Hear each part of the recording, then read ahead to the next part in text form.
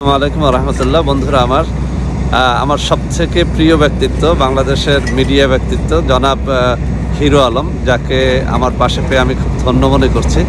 ওনার সাথে আমার অনেক আগে থেকেই একটা আন্তরিক বন্ধুত্ব ছিল, কিন্তু পাশে পাচ্ছিলাম না।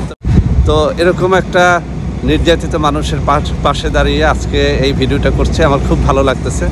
আমারও একটা বড় ইউটিউব চ্যানেল আছে, প্রায় তিরিশ লাখ সাবস্ক্রাইবার সেখানে আছে সাইফুল টিভি। আর ওনার চ্যানেলেরও আমি একজন সাবস্ক্রাইবার তো আলম ভাই কেমন লাগতেছে আজকে আপনার? অবশ্যই ভালো আপনার সাথে দেখা হয়ে আমারও খুব ভালো লেগে লেগেছে যে মানুষ কখন কার সাথে কথায় দেখা হয় কীভাবে পরিচয় উপরাল থেকেও বলতে পারে না। তবে আমি আপনাকে একটা কথা বলব যে আপনি একটা সাক্ষাৎকারে বলেছেন যে ভবিষ্যতে নির্বাচনে আর নাও আসতে পারেন এটা আপনার ঠিক হবে না। অবশ্যই আপনি দাঁড়াবেন বারবার নির্বাচনে দাঁড়াবেন বাঙালি আপনাকে এমপি হিসেবে দেখতে চায় এবং একদিন না একদিন আপনি সফল হবেন ইনশাআল্লাহ। धन्यवाद जी जी थैंक यू अस्सलाम वालेकुम